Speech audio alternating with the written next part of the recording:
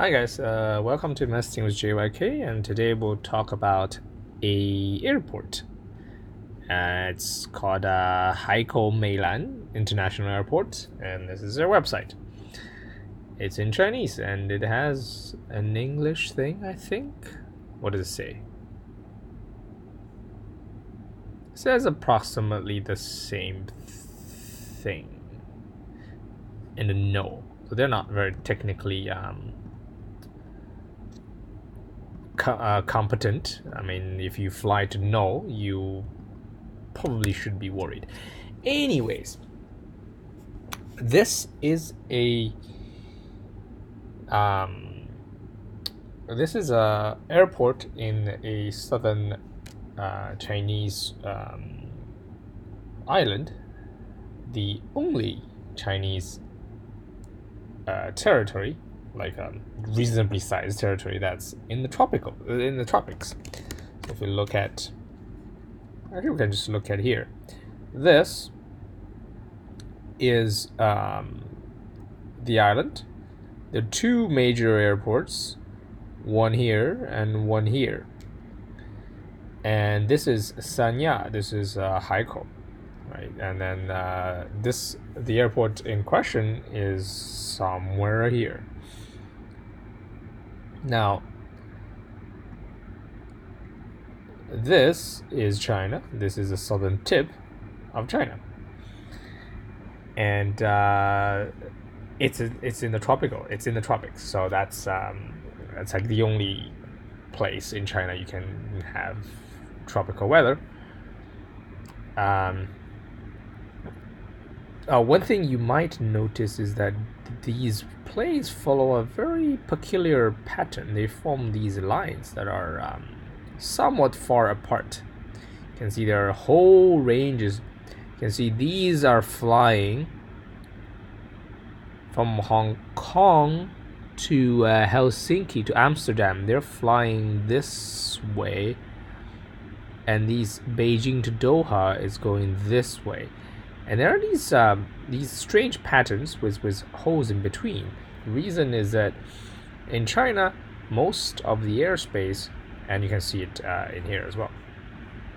Uh, there's a lot of flights, but most and here as well you can see there's a lot of flights, but there are these holes, and uh, because in China most of the airspace is controlled by the military, you cannot actually fly. Unlike in U.S., where most of the airspace is open, uh, in China most of them are closed. You have these corridors where you can actually fly, and Tibet is just a complete empty. And uh, one reason is actually not safe to fly through uh, the, the Himalayas. It's, it's quite dangerous. Um, there, there was uh, during the Second World War, a bunch of planes crashed trying to airlift uh, war materials, war um, resources uh, from uh, I think uh, Myanmar into China to fight the Japanese, and a bunch of the Americans died because they they had to uh, go through the Himalayas. It's very dangerous. Anyways.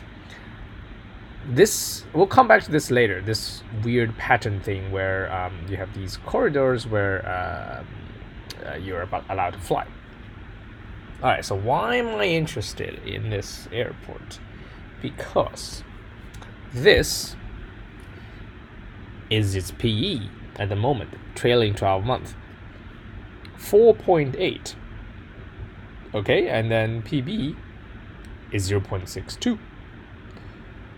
And PS is 1.5. And they're all historical lows. If you look at um, uh, the, this this one is uh, per, uh, percentile. It's in the past uh, ten years. This is uh, let's just do everything. Come on, is it broken? Is it broken? It's not broken. Yeah, let's do everything. This thing's been public for like twelve years or something. Yeah it's at 1.25 percentile. It's only been cheaper uh, in terms of days. Um, in the uh, entire history of, of its public traded history in terms of PS is 1.25 time, uh, percent of the time of the days is cheaper, and in terms of PB uh, is 1.77 times um, when it was cheaper, and in terms of PE is 1.21 percent of times when it was cheaper, and in terms of um, uh, dividend yield, it currently is yielding about four percent. Okay, so it looks fantastic. Um, in terms of valuation. Now, what is the problem with the company? that it's selling so cheaply? Uh, well, one thing we could look at uh, um, cash flow. If cash flow is is uh, is bad, then it's not very um, conducive. But if you look at the cash flow, this is the uh, operating uh, cash flow from operating activities compared to um, net profit. It's very high then you say, oh, maybe it's investing. Yes, that is true. It was investing. Uh, but, and then this number, you can see it's much higher, and this is actually non sustainable. So something is odd here. The way you can see is that in here, this is um, uh, day sale outstanding. It's fairly stable, so nothing worrying. Uh, this is um, days inventory outstanding. Well, it's less than one because it's a, it's an airport. What inventory are you talking about? And this is days payable outstanding. And this has just exploded in the last um, in the last report. In Hong Kong, you only get uh, semi-annual reports. You don't get uh, quarterly reports. So this is very uh, high, very, very worrying. But this also resulted in some fairly crazy high um, cash flow, operational cash flow. Right? you can see this has been the highest ever in the past uh, years. And if we look at half year, half yearly has been high for like three, uh, four reporting periods actually. Uh, so what are they trying to do here? Okay. Uh, then if you look at ROE, fairly stable. There's nothing really weird here. Um, if you look at yes, ROE and uh, uh, leverage has been steadily increasing, and there's a bit of a deleveraging in the last quarter, sorry, last half a year. Uh, return asset has gone down uh, compared to uh, 2011. It's not terrible. It's six percent. I mean, a six percent return on asset is nothing to scoff at. Asset turnover seems to be stable. Net profit ratio, uh, net margin has gone down quite a bit, in fact. Okay, so what has caused these? mostly um, I looked into it. It's actually mostly uh, labor, and not just any labor. It's contract labor. I'm not. I haven't found any reason in their annual reports for the past three years, four years, when this whole contract uh, thing started exploding. Not entirely sure what the, what that was. Okay, so here's some things we need to know, and the other one is how much do they pay out in terms of dividend. Uh, you can see in 2009 when things are really bad, they paid out a lot, and they haven't been paying that much ever since. Uh, they pay like 20%, 25% of their profit. So what do they? So, so what you see is they've got quite a bit of debt, uh, lots of profit, not really paying down the debt. So the only explanation is that they've been investing into something. All right. So let's see what they're investing. Um, if you look at this is the 2017 annual report.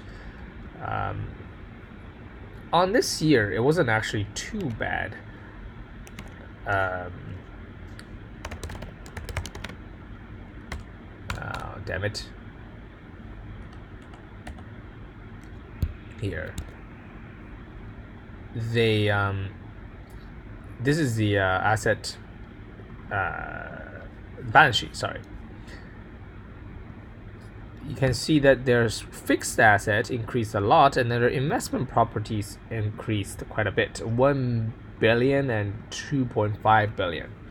So um, this 2.5 compared to what it was which is 1.7 uh, in the previous year i mean this is a company this is a consolidated so let's just look at a consolidated right and then um, uh, this is uh, investment properties but this is actually very weird why they would categorize this as investment property because I looked into it. This is the the um, uh, the the what do you call that stuff? They call it some like some some some something something something complex.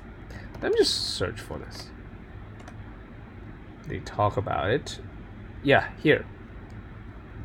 Uh, it's called the Terminal Complex Project, um, and it's the mall and the parking lot. Why would these be classified as um, as investment properties? I mean, I, I assume they want to operate this stuff, right? And because it's an airport, it's it's a it's a, almost like an integral part of the airport. Are they trying to sell this? Maybe we don't know.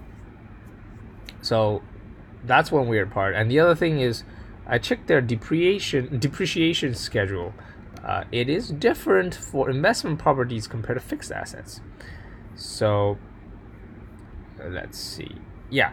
So for investment properties is 30 years. For fixed asset it was something like 15 to 40 years.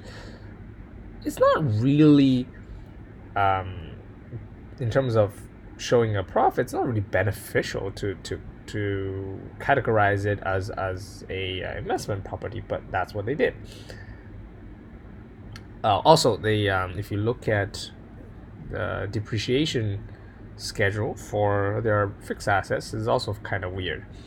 Motor vehicles of 10 year useful life. If a com I mean I doubt if a commercial vehicle uh, being constantly used can survive 10 years. I mean, the I'm just guessing, right? I, I have no experience. And then the machinery will last 14 years. It's kind of uh, long on the long side. Office equipment, 5 to 15 years. Again, I don't know that many office equipments that would last, um, you know, 5 to six to 15 years. I mean, a, a printer, a, a, large printer, you may categorize that as office uh, equipment, so that probably lasts you like four or five years, I would guess. Then you have to repair it a lot. But uh, this is somewhat slow um, depreciating, I would say, but it's a, it's a small issue here. So they've been buying stuff, investing, and then um, oh, let me just go to here. Okay. Um, so how much is this in terms of their revenue, right? So if we just look a little bit down, you can see it somewhere here. Revenue. Revenue is only 1.4 billion right? So by buying that ginormous thing, essentially buying the um, terminal complex thing, they're using almost an entire year worth of revenue to buy it. Not profit, but revenue. That's why they're getting into debt. And in terms of their total profit, their profit margin is pretty high. The profit margin is 30%. So essentially, in, you need like two oh, and you, you have to take out the uh, uh, uh, sorry, what do you call this? A corporate tax, corporate income tax, right? So you need like two and a half a year to pay for the new complex, which isn't too bad, I would say. Um, you know, if if you buy something and then you can pay it in two point five years, seems alright to me, especially if that thing is producing more income. Now, does it produce more income? We can take a look at um, 2018. Uh, so we had a what? Yeah, here we go.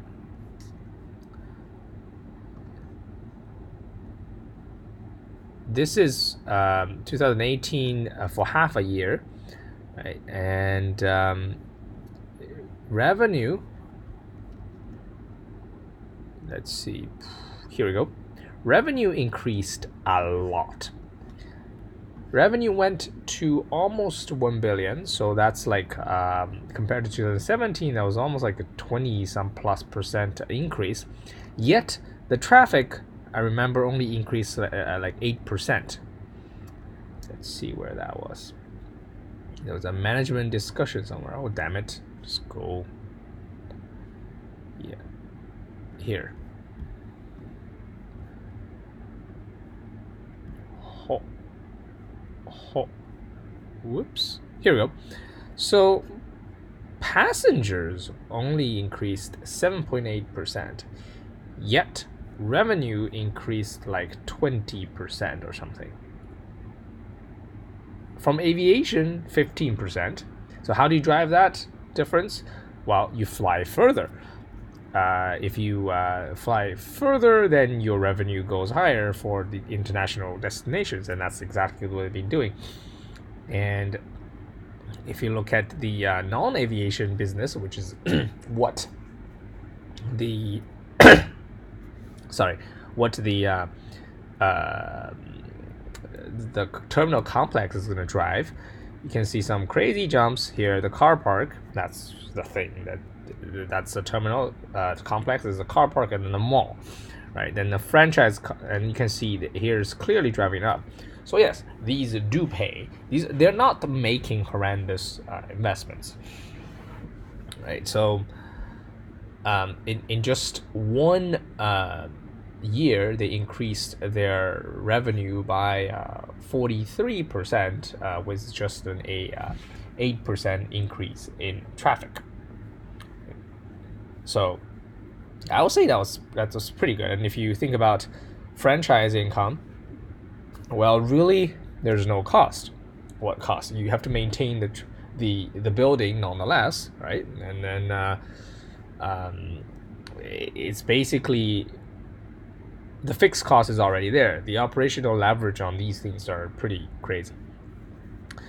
All right, so that's what they're doing. They're investing a bunch of things. This seems to be productive stuff. And I look, there's some older stuff. Um, it seemed to be fairly productive, but here's an issue.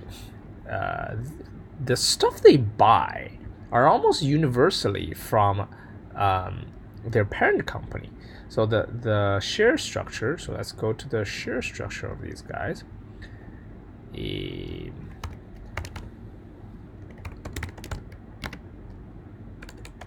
Let's see. Here. Here, here we go. There's a lot of related party transactions. Hey, eh, where are we?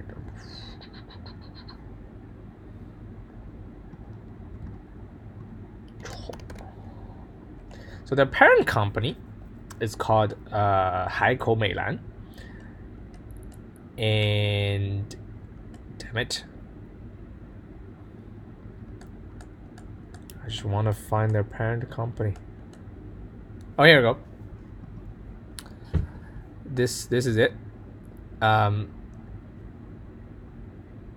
this guy, this uh, Haikou Meilan International Airport Company Limited, is the actual controller of uh, of uh, this uh, of um, Meilan Airport and oh yeah, another thing. This company's gone insane with their name changes. It went from uh, Hainan Meilan Airport um, uh, COLTD to Meilan Airport to uh, Haihang, which is an airline in China.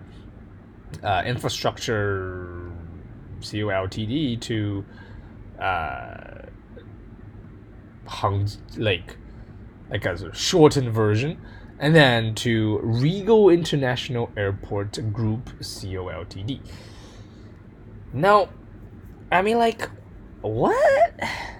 For f- 12 years of their public life, they changed, they had five names. And the last change happened uh, in uh, August 2018. So all their um, annual reports had had like weird names. Okay, so you had this, right? And it's just super confusing. Anyways, so because they have this uh, controlling company, there's a lot of fishy stuff that I don't really like about this company. If you look at the related uh, transactions, where the hell is the related transactions? Damn it. It's almost there. Come on, what the hell?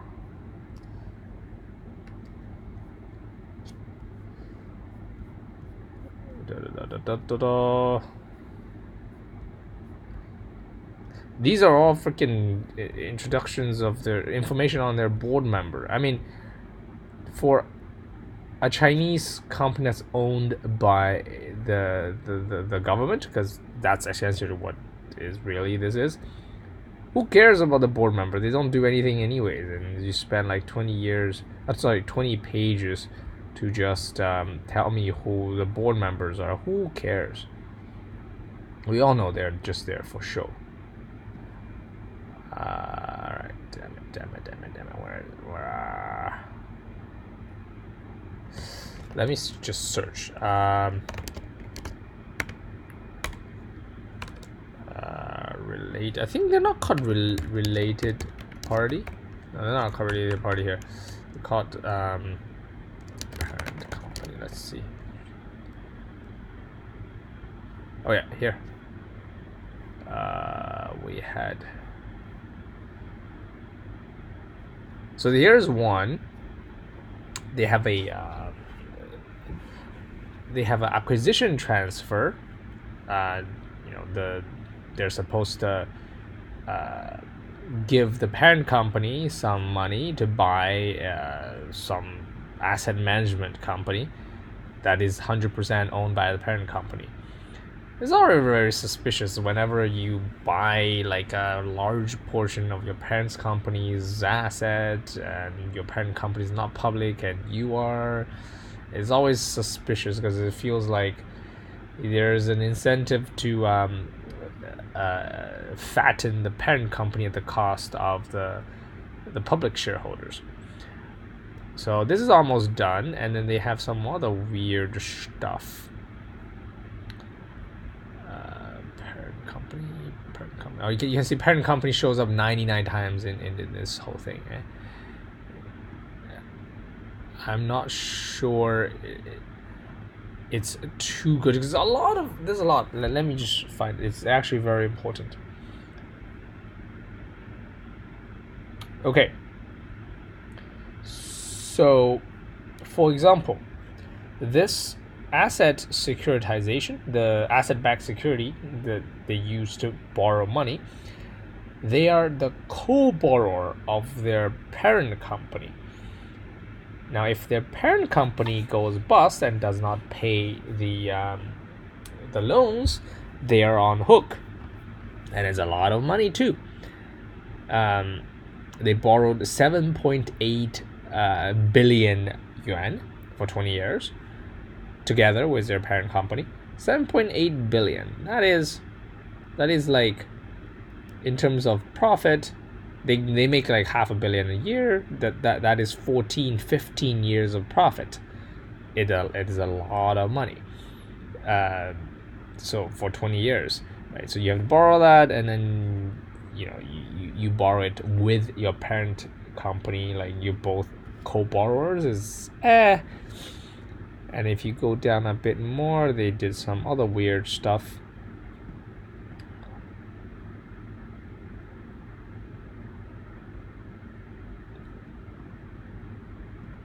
Hold on, where is my parent company? Damn it. here. Oh, connected transaction. That's what they call it. I'm like, well, okay. Anyway, so this has been there forever, and then it basically says for um, uh, security guard service and cleaning and all a bunch of this stuff, the parent company cannot lose money. The parent company will always add 5% to the cost as a management fee. So they get always a 5%. Uh, and these are low asset things. These are essentially um, uh, asset lists, right? They, they, you hire a bunch of guys and they do the, the cleaning. Uh, so you, you have very little cash outlay. You don't have any investment. The parent company has no investment. They just get a 5% on the entire turnover. And then, and in fact, the higher the cost, the more they make. Um, and if you go down here, you can see um, uh, some other thing, the D, which is power and some um, equipment maintenance. Uh, they they do a twenty five percent management fee. Like on top of the cost, right? So parent company really can't lose. And this thing's been there since at least since 2012 because I haven't gone too far back.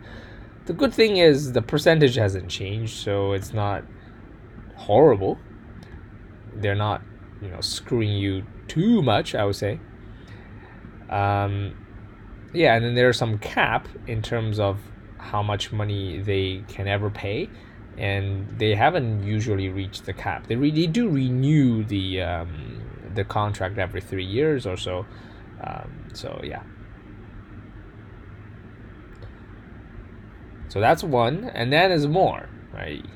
Another one, there is an expansion project that they're um, the, the parent company. It's very confusing too.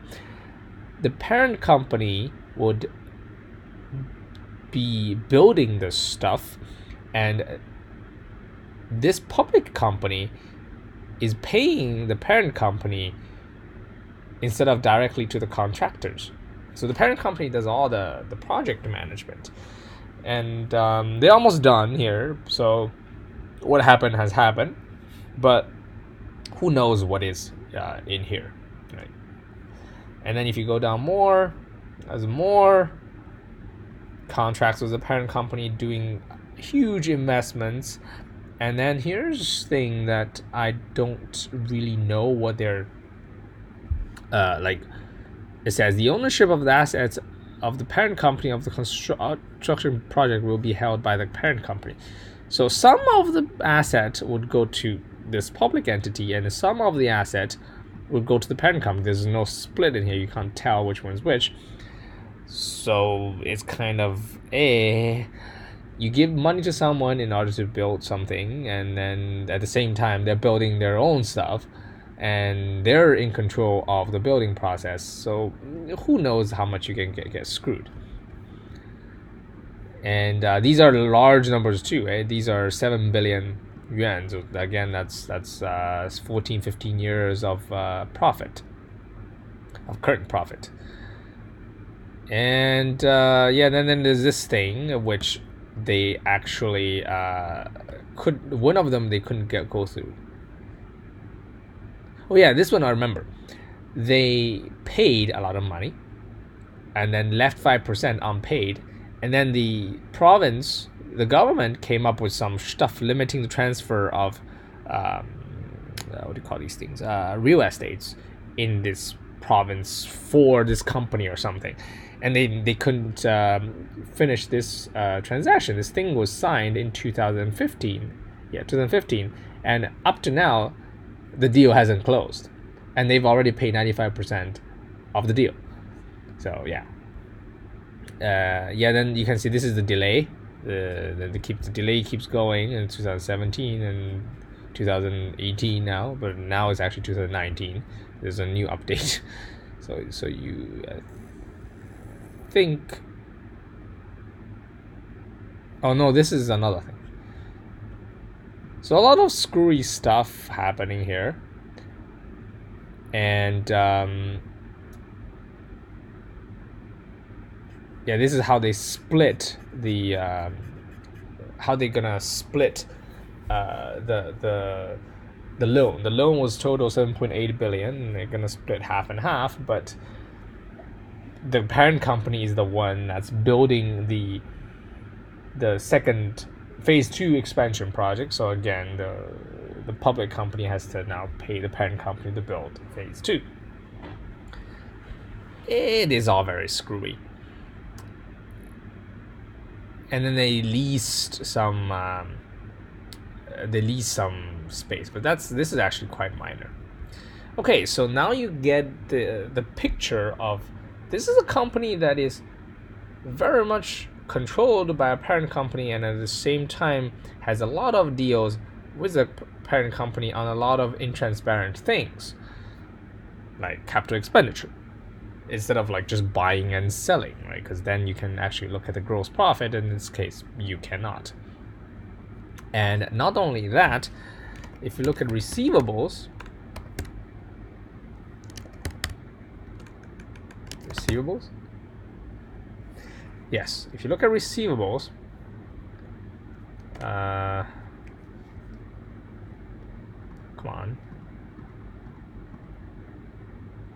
Uh, note for two. I want note for two. Go go go.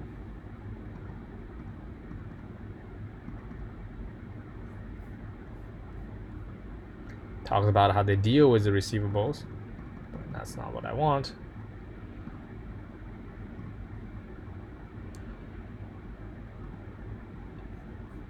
here most of the receivables are coming from uh, aeronautical services.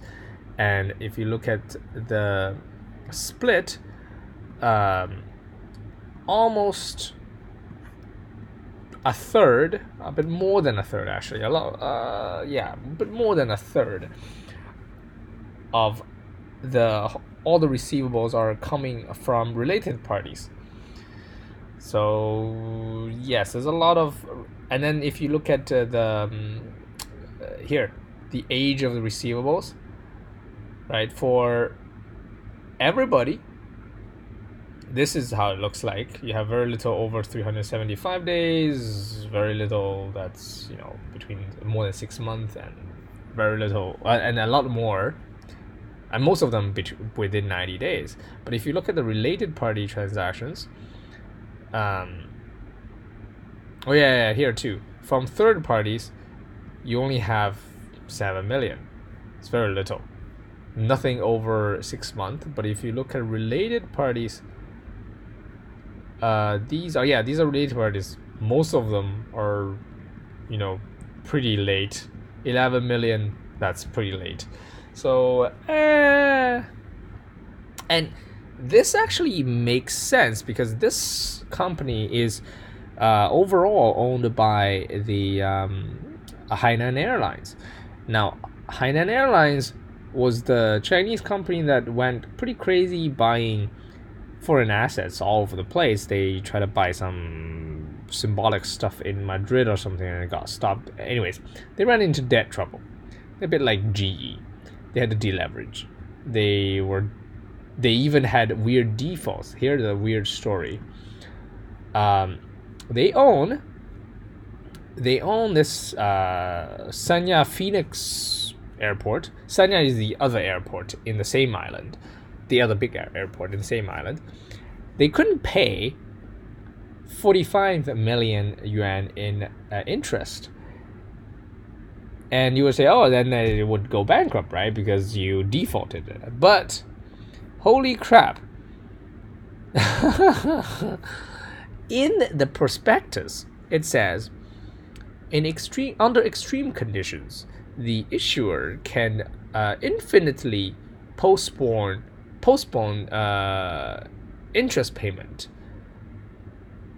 and under pursuant persuade, pursuant to this clause, any interest um, deferral should not be viewed as default. I'm like, what the fuck? So, in China, nothing is what it seems.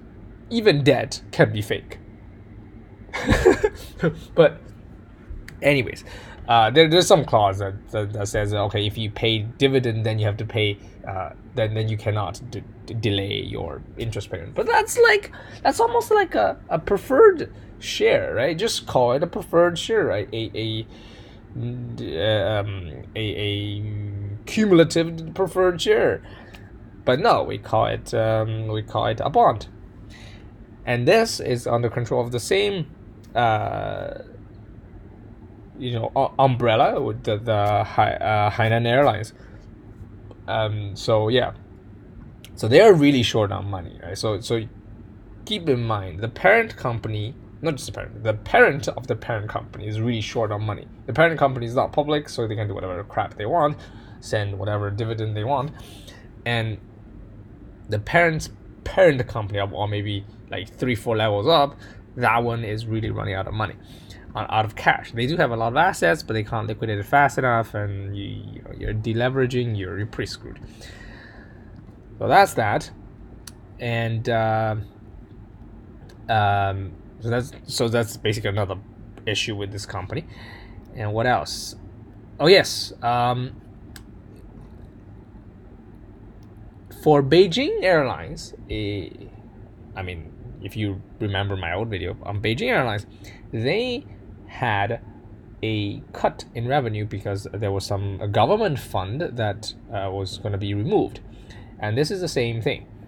Um, about, you can see that uh,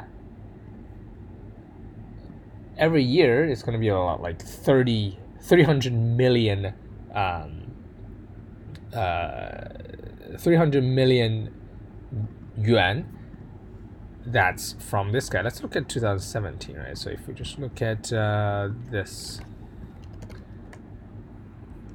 well, 2017 is 260, but 2018 is going to be a little more, 8% more probably. So 280. 280 million yuan is going to be removed from revenue, and these are pure profits. They don't. There's no cost associated with them. So now I have to take out 280 um, million yuan from here, from uh, from their profit uh, of, of 2017, which means was my was my was my was my where is where's my profit Where's my profit? Give me my profit.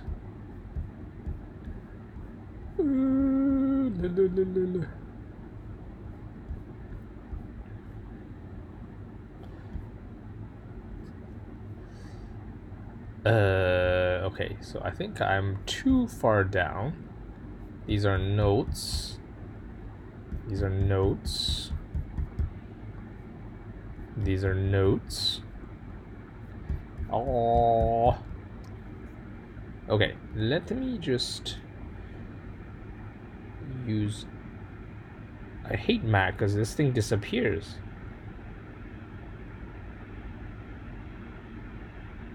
Somewhere. Okay, somewhere here.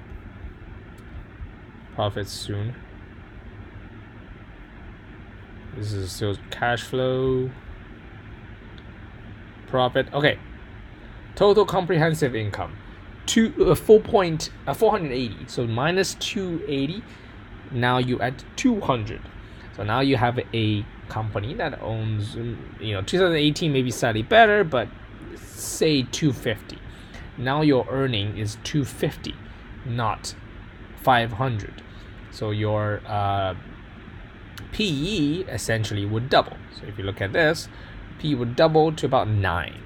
Okay, so 9p is still not too bad. Uh, the PB is really low, right? So what is the what is the problem? This is one more problem they have. And you say, oh my god, this company seems like full of uh, worms. Yes, they are like full of worms. There is a debenture of some sort Oh yeah, yeah, yeah, here we go. Just look at this. Look at that. The they already paid some, but man, the current portion of non-current liabilities is 1.3 billion, 1.4 billion. And their cash is 200 million. Their current uh, ratio is about 0.22. So, unless they can raise more money, they would go into default as well. Unless I mean I haven't checked their their prospectus on their on their uh, bonds or debentures. Maybe they have a clause that says, "Oh, we can postpone forever," uh, but then you can't get the dividends. But this is all very, this is just this is all very bizarre, right? So this this company definitely needs um, new capital in some way, either debt, new debt, or new equity. They cannot, they simply cannot pay out of their cash flow because because they do make a lot of cash flow. They make like, I think they make like uh, last year was something like some ridiculously high number because they were postponing paying their suppliers. Free cash flow, free cash flow. Where's my free cash flow? yeah here we go you're gonna just subtract those two right so the operating so you, you they have a billion dollar in terms of uh, operating uh, cash flow and then they have to pay about 300 uh, million in terms of investments so they get they get a lot they get like 700 million you know this is non-sustainable let's say 500 million a year which is on par with your profits so it's it's, it's pretty accurate they're, they're not you know cooking the books as that much. Um, but it's not gonna cover your 1.3 billion dollars that's coming due in in um, almost uh, you know in in like half a year or something. So yeah, this is what I worry about a lot. Now, is the government gonna let this thing go bankrupt? No, because and and yes, government does have a say because the government essentially controls Hainan Airlines. Hainan Airlines through a bunch of layers control this thing. If this thing goes down, somebody some head's gonna roll. There's a there's a law in China that says um, you shall not lose uh, state-owned pop uh, state-owned assets. It's an actually a crime. Um, I'm not bullshitting either it's, there's a lot of weird uh, laws in China that I just discovered. Um, so yes, that now. Having spent 40 minutes talking about why this thing is shit, um, let me tell you why this is good. First of all, this island is special in the sense that it is um, you can do duty free shopping as a Chinese in this island and take it out, right? So it's a duty free uh, island that's part of China. You don't need a visa to get to. It's and you can take a train to there, right? So it's a, a lot of shopping goes on there. It's only um, it's the only tropical area in China. Um, uh, Professor Jensner, Jensner, Jester. Uh, if I butchered your name, I apologize. Uh, remind me that you know, uh, retired people like warm places. Chinese are getting older. More people will go there, and it's a nice place too.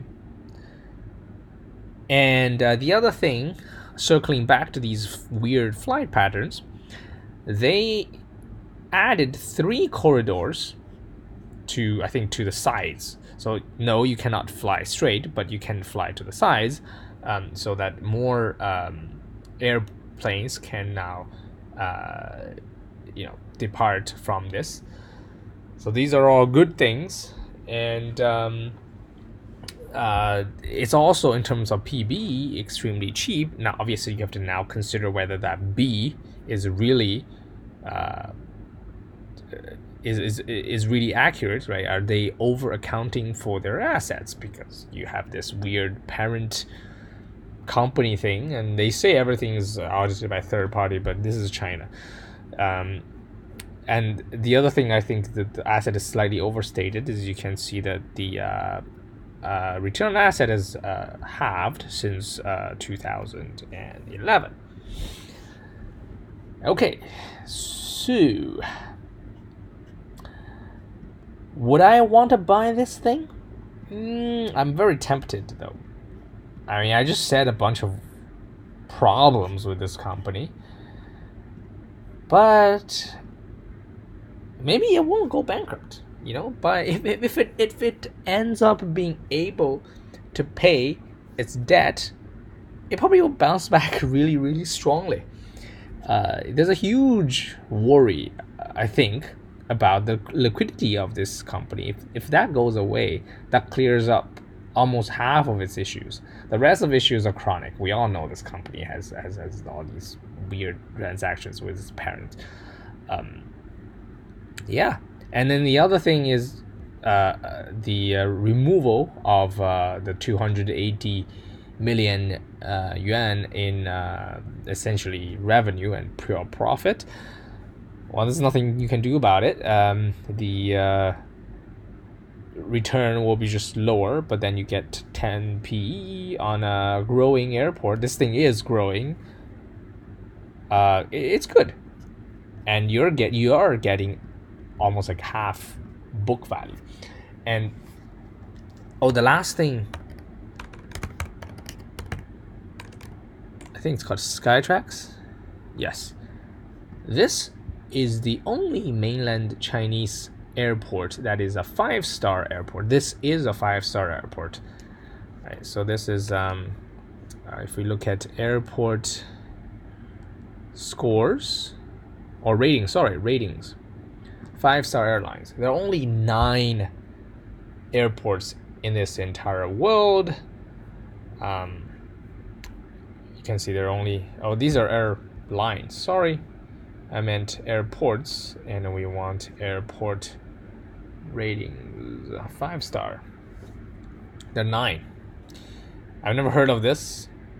Baku Aliyev but I know the Singapore Changi and then I don't know what this Chubu Central.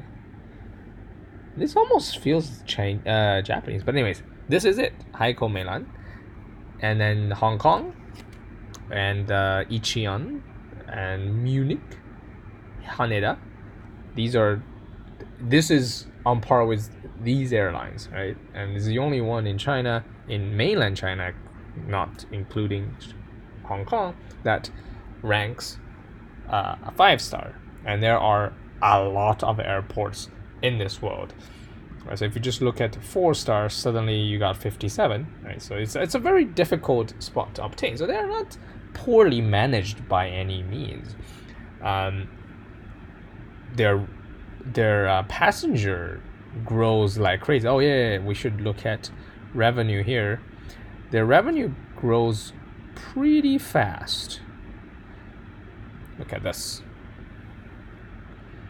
Revenue grows pretty fast. This is this is line that's pretty steadily going to the right. Profit grows generally pretty steadily to the right. And cash flow grows. And yeah, so it's, um, it is a growing company it also pays a dividend. Uh, so you have a bunch of weird issues with the parent. You have um, uh, a liquidity issue. So you have to make up your mind. I am tempted, but I haven't made up my mind yet. So this is a very long video. I hope I haven't bored you to death again, and see you next time.